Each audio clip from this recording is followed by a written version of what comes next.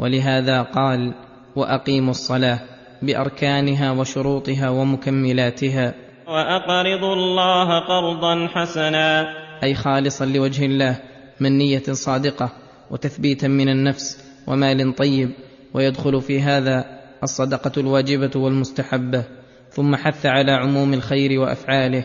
فقال وما تقدموا لانفسكم من خير تجدوه عند الله هو خيرا واعظم اجرا واستغفروا الله الحسنه بعشر امثالها إلى سبعمائه ضعف إلى اضعاف كثيره وليعلم ان مثقال ذره من الخير في هذه الدار يقابله اضعاف اضعاف الدنيا وما عليها في دار النعيم المقيم من اللذات والشهوات وأن الخير والبر في هذه الدنيا مادة الخير والبر في دار القرار وبذره وأصله وأساسه فوا أسفاه على أوقات مضت في الغفلات ووا حسرتاه على أزمان تقضت بغير الأعمال الصالحات ووا غوثاه من قلوب لم يؤثر فيها وعظ بارئها ولم ينجع فيها تشويق من هو أرحم بها منها.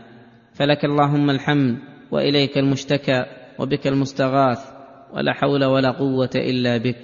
واستغفروا الله إن الله غفور رحيم.